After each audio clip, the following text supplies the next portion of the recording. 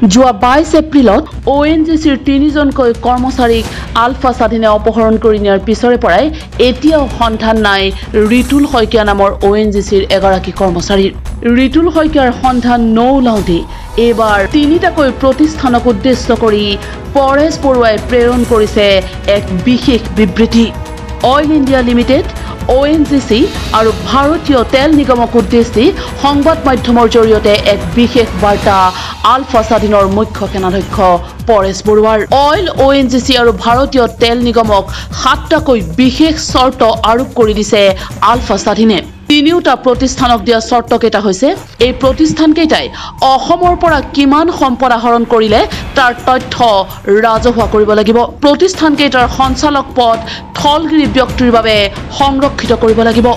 তিনি পঞ্চানব্বৈ শতাংশ চাকৰি স্থানীয় তথা থলগিৰি লোকৰ বাবে সংৰক্ষিত কৰিব লাগিব তিনিওটা প্ৰতিষ্ঠানে।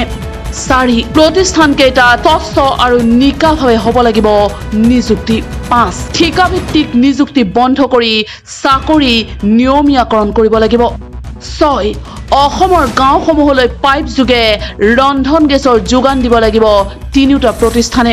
সাত প্ৰতি বছৰে অসমত প্ৰাকৃতিক দুৰ্যোগত পতিত হোৱাসকলৰ বাবে পাঁচ কোটি টকাৰ প্ৰত্যক্ষ বৰঙণি আগবঢ়াব লাগিব।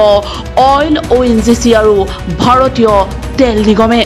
এই সাতোটা চৰ্ত আৰোপ কৰি আলফাৰ মুখ্য সেনাধ্যক্ষ পৰেশ বৰুৱাই জাৰি কৰা এই বিবৃতিত কোৱা হৈছে এই সাতোটা চৰ্ত যদি তিনিওটা প্ৰতিষ্ঠানে মানি লয় তেনেহ'লে তেওঁলোকৰ বিৰুদ্ধে অনিৰ্দিষ্ট কাললৈ আলফাৰ সামৰিক অভিযান স্থগিত ৰখা হ'ব।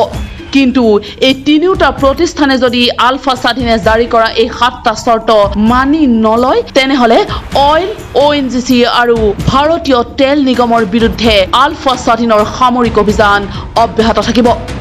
অৰ্থাৎ এই তিনিওটা প্ৰতিষ্ঠানৰ বিৰুদ্ধে অপহৰণ বা অন্যান্য বহু অভিযান অব্যাহত ৰাখিব। আলফা স্বাধীনে অৱশ্যে এই পৰ্যন্ত তিনিওটা প্ৰতিষ্ঠানৰ তৰফৰ পৰা কোনো ধৰণৰ প্ৰতিক্ৰিয়া প্ৰকাশ কৰা নাই।